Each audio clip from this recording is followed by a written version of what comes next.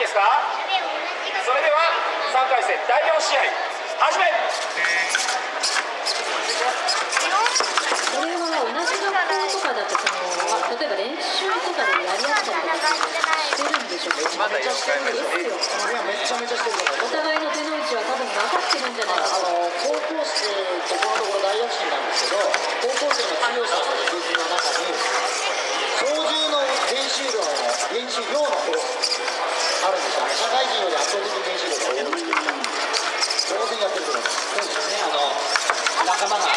そばにいますのでね、はい非常にやりやすいですよね。対戦機会という面でも多くなりますよねやっぱりまあもう徹底して多いと思いますよ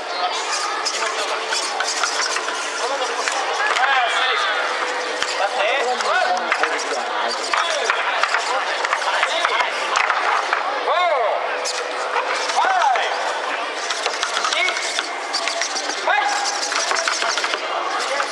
さあ1分経過おーいいパンチだったけど少し当たりが浅いこうなかなかお互い近寄れるようで近寄れていないようなそうですね距離を取って戦うけれどももう一歩前なんでしょうけどもう一歩前で攻撃すると相手の射程距離でもあると満たしい難しいところです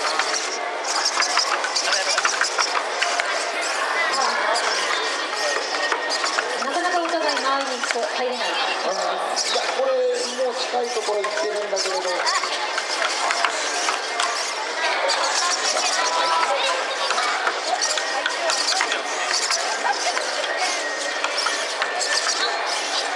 あーちょっと届かないぞうんちょっと届かない青コーナー今倒れてる方が青コーナーですね。さあ試合は残り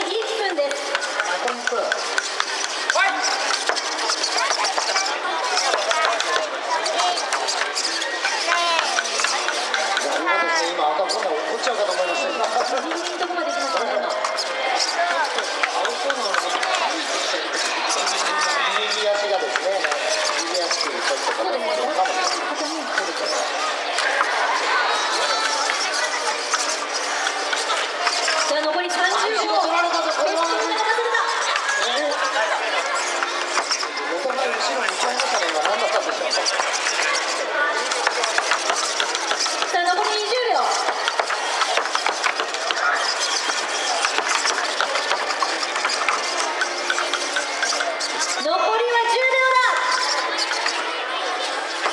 こで決めれば一発だろうけれどなかなかお互い